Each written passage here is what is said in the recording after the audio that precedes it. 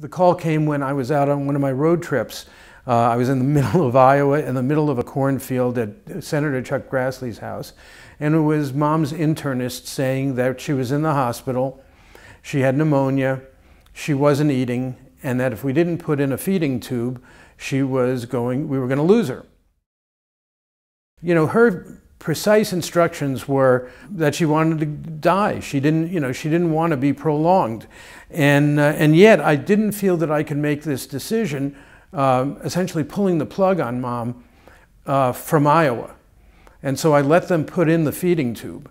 Um, I later learned uh, that we had weeks. And this was a good part of my frustration with uh, the traditional fee-for-service Medicare system, where you have all these independent operators uh, and all of the doctors are getting paid according to the procedures that they do. After we had the feeding tube inserted, I put mom and dad into this nursing home and by a wild stroke of wonderful luck, the doctors there were employees of the Geisinger medical system. And it's kind of like the Mayo Clinic in that doctors are paid salaries and performance bonuses, but they are not paid fee for service. They're not paid according to the services they perform. All of a sudden, three things happened. First of all, people stopped sticking needles in my parents. Second of all, they stopped sending my parents to specialists um, for you know, consultations that were unnecessary. And the third thing, and the most important thing that happened, was that the doctors started talking to me as if I were a sentient, intelligent human being. You know, they told me the truth about how mom and dad were going to go. The real revolution in medical care that Geisinger surfed the wave of was electronic record keeping. Um, and over time, they were able to establish what kind of procedures worked, what kinds of drugs worked, and in what circumstances. And they quantified almost everything. You know, if you have diabetes, there's a bundle of nine different procedures that your doctor should follow uh, and make sure that you're following.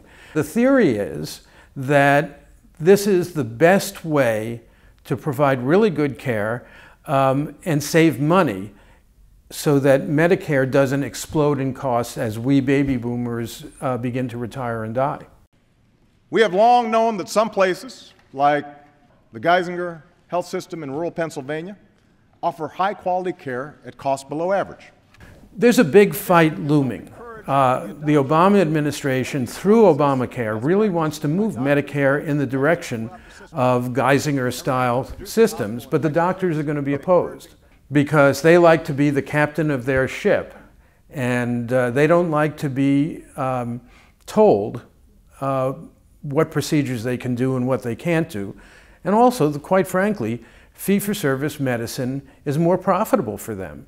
Why not do the extra x-ray or the extra MRI, even if it isn't necessary? People get paid.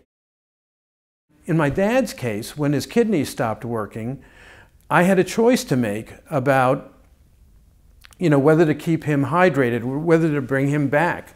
And the doctors just said very frankly to me, even if you bring him back now, he's going to be back in the hospital in a month or six weeks because his kidneys are shot.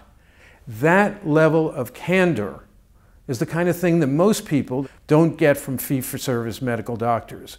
And that's what made the death of my parents um, tolerable and easier than it might have been.